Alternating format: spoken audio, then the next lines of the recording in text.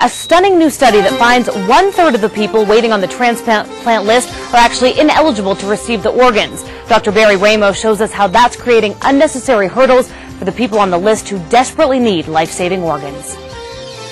It's a life and death uh, situation. Aurelia Sorella's 11-year-old daughter Leah is fighting for her life after being diagnosed with acute liver failure. Now she's desperate for a transplant. Um, very sudden, such a short time period that she has before it will get terminally worse. Leah now joins 98,000 people in need of organ donation. While her condition is new, there are thousands, according to a new report, who remain languishing on the transplant list, ineligible for an organ, either because they are too sick or not sick enough.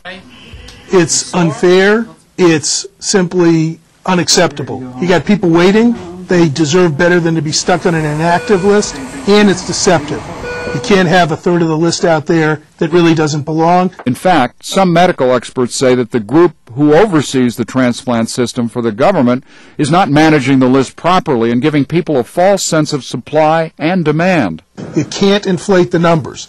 You risk alienating people and having them not support organ donation because they say the system doesn't play fair. The United Network for Organ Sharing, the group that oversees the list, said that their goal is to get people transplanted as quickly and as many as possible, not to keep people off the list. We have 18 people a day die waiting for organs in this country. The overall thrust is that we are, are working against a bit of a clock.